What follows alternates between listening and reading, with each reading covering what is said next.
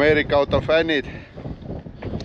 ma ei ole tükk aega nii elevil olnud kui seekord, sest et äh, sellist autot ma ei oleks oodanud oma Dünos mitte kunagi, sellepärast et ma olen näinud ainult filme, olen näinud ainult saateid ja võib-olla ka internetis on ju, aga see, et see auto konkreetselt siia meie Dünosse satub, seda ma poleks uskunud. ja siin ta on ma panen video alla ka mõne lingi selle auto tutvustuse kohta, selle konkreetse mudeli kohta, sellest, selles on tegelikult oma ajalugu. ja see, kes, see mees, kes selle auto kunagi kuulsaks sõitis, see mees paneb siia ka Scoobile ja, ja kindalaekale oma allkirja, sest need, need jupid on praegu küljest ära võetud, et ja teel Ameerikasse. aga Superbird on on siin ja ma siin mõtlesin, et ennem kui ma Dünosse sõidan, siis valguse käes näitan teile ka siis ära, millega tegemist on.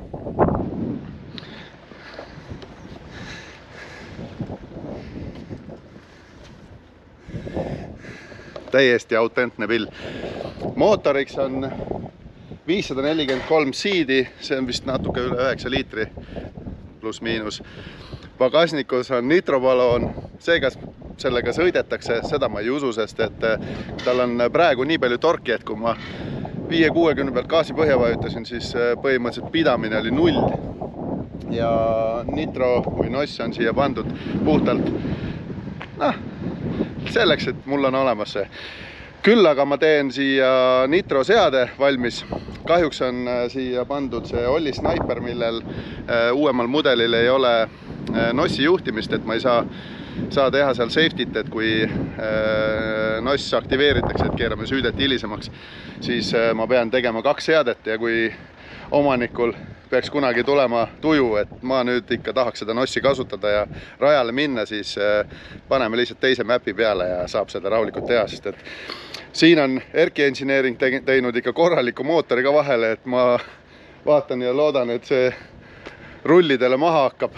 kuule, aga ma ajan siis peale ja, ja siis juba räägime, mis siit tuleb ja mis siit ei tule. oled valmis või? Lähme. Lähme, ma panen selle kaamera ka siia.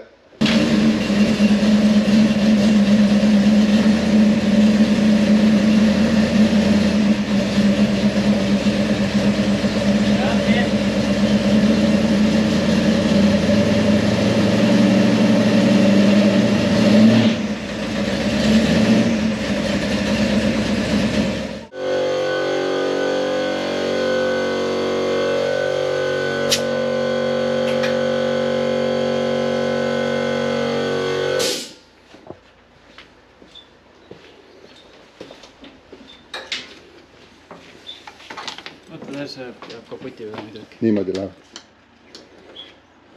koht.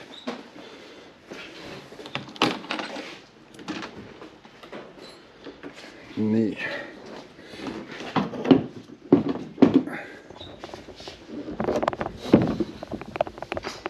tuulelukk on ka. võtab ilusti sooja õhku siit. nagu ikka Ameerika auto aga muidugi siit võiks olla, vaata mingid torud tulla siia nurkadesse.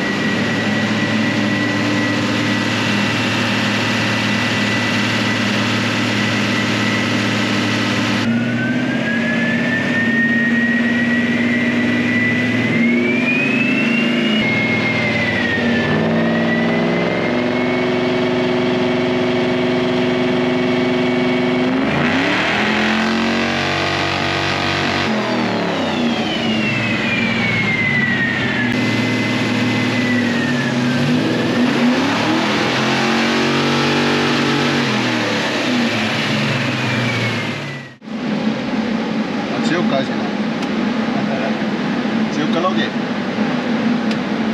mis ta näitab? mis näitab? ma ei kuulnud. mis ta näitab? rikkaks läheb rämedalt lõpp. ta ei jõua hingata üleval otsas siukse, noh, et ta ei hinga, mootor nagu üleval otsas ei hingaks. nukad on tehtud kuni kuradi nelja pooleni ja tänaval on hea, aga lihtsalt üleval otsas ei hinga. aga noh, vaatame, mille pärast ei hinga, et kas seal süüdet on palju või on seal mingi muu häda. algus, ta põhimõtteliselt on kõik rikas. kolmest tuhandest edasi läheb kõik väga rikkaks see on fakt nagu.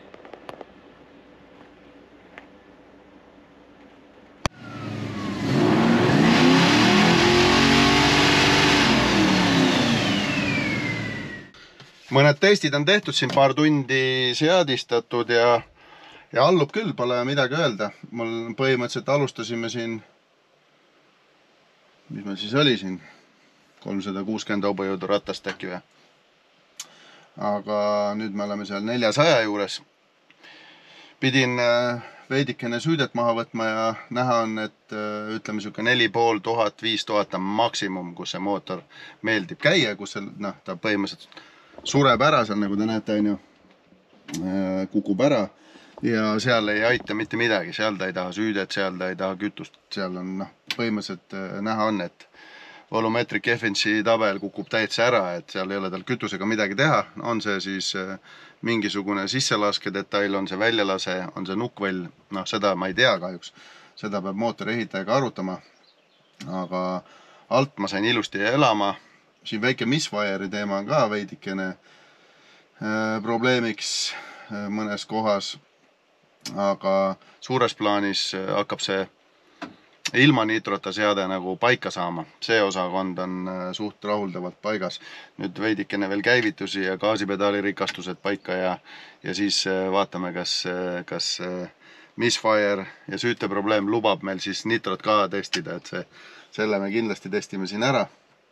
aga ma lähen nüüd teen väikse lõuna, kogun vähe mõtteid ja jõudu ja, ja siis paugutame edasi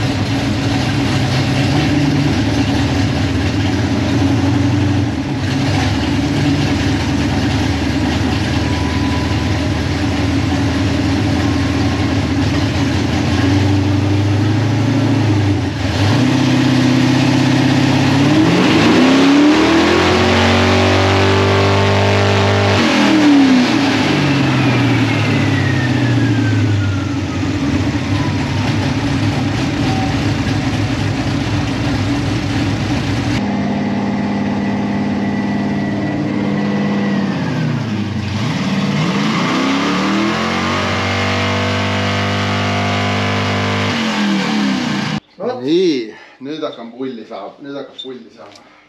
proovime kõigepealt ära selle purgevärgi. kus see kustuti on kuuma jooksu? ma ühte autot kustutasin, siis ma pärast näitan sulle. Kustuti on seal, okei, Tei-, see on äh, CO, selle valime esimesena, teine, need pulber on siin. ma ühe pulbri alles kaks nädalat tagasi panin ühe auto peale. okei. täiesti lampi läks põlema, väga tulesein Mustangil, mille kollektorid olid samamoodi palju. okei. panin sinna, no, no kõik oli paigas juba, siis hakkasin käiguvahetusi testima. Pam-pam-pam-pam, järsku vaatan. leek tuli raisk. ja kustutasime ära, õnneks ma nii palju jäi kõik jäi terveks, et äh, ku- kustutasime ära siin väljas, pesin veega, pesime puhtaks, siis sõitsime veel tagasi, et kõik oli korras. aga lihtsalt, et noh, pärast oli kuradi, ma ei tea, neli-viis päeva juhnestike ja kõikide parandamisi.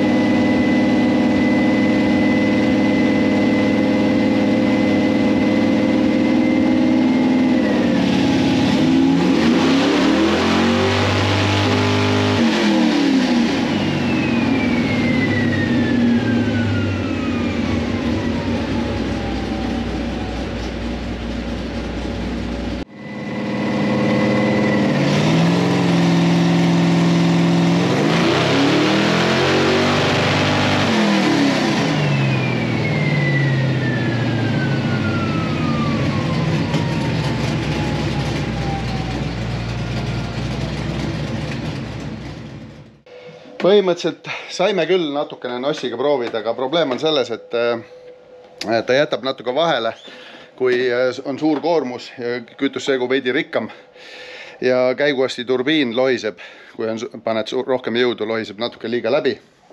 aga mis me siis saime? me proovisime siis nossiga ja ilma, ilma nossita nelisada neliteist hobujõudu ja kaheksasada viiskümmend Newtonmeetrit tagaratast päris piisavalt. kui te vaatate videot, siis te näete, kuidas see asi keerab ennast kringlisse. nossiga viissada kolmkümmend kaks ja üheksasada seitsekümmend üks Newtonmeetrit ratast. ja sel hetkel kahjuks see töö ei olnud väga puhas, ta jättis sutsukene vahele. logi oli ilus, kõik oli korras, aga, aga ütleme, see ei olnud puhas tõmme ja me ei, ei olnud mõtet, ma tegin seda kolm korda ja sain aru, et siit ei tule rohkem midagi. ennem kui need vead on kõrvaldatud. auto on äge mootor jäi terveks, mootor käib ilusa häälega, küll kui keerad ka siit põhjalt need kataudid lahti, siis see hääl on veidike liiga raju, et sul terve see kere väriseb. aga kui keerad sumpsi kinni, et heitgaas tuleb ainult tagant, siis, siis kõik on ilus. aga vaadake seda autot nüüd.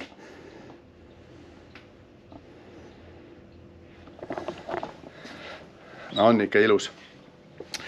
aga nüüd siis ei olegi muud, vaatame, las ta läheb, teeb need nipet-näpet asjad korda ja, ja siis võiks juba kuskil sirge peal proovida, kas, kas nitro asi töötab nagu peab.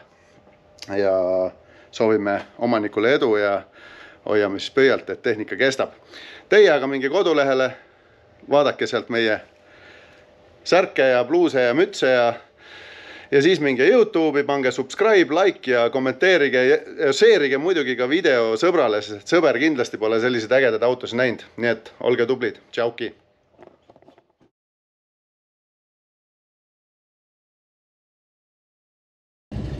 ma ükskord rääkisin teile, kuidas ma lendavat vaipa seadisin, aga ma arvan, see ületab kõik vaibad, nii et see on selline nagu pärsja vaip.